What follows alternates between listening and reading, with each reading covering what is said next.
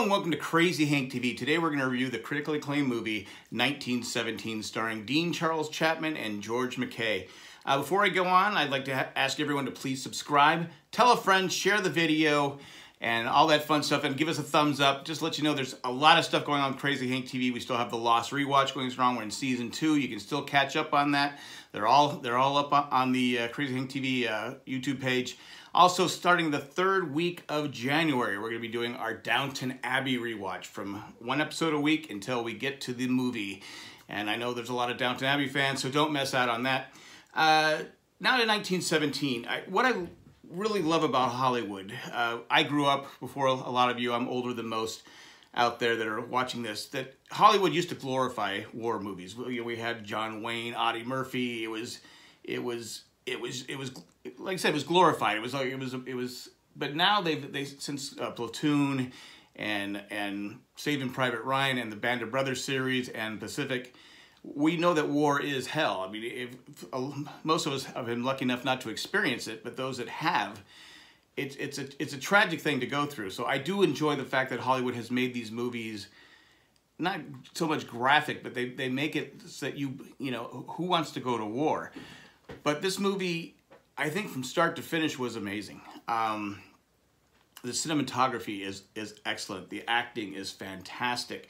The, the, there's tension. There's drama. I don't want to. I can't. I don't want to spoil anyone on, on, what what what's going on in the movie because it, it will ruin it.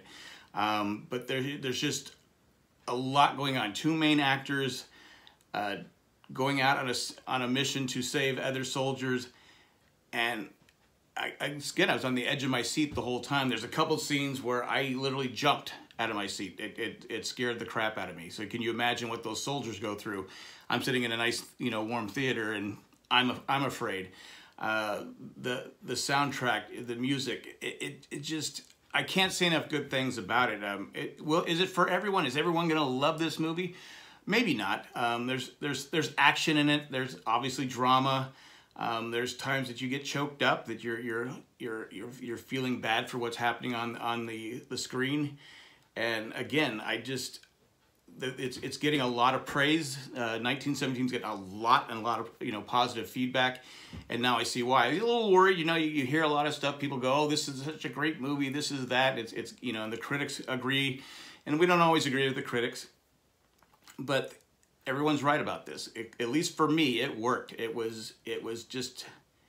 I don't, I don't know how long the movie was, but it, it seemed it, it it's when a movie's great, it's like wow, it's over already. And again, if you if you enjoy great movie making, this is the movie for you. Um, on the scale of four crazy Hanks, uh, one crazy Hank being bad, four crazy Hanks being great, giving it four crazy Hanks. It was it was that good. I enjoyed it that much. Um, that's all I got. Thanks for watching. Again, thumbs up, tell a friend, subscribe, and we'll be back next week with a new uh, uh, Lost Rewatch. And that's all I got. I'm out. Bye.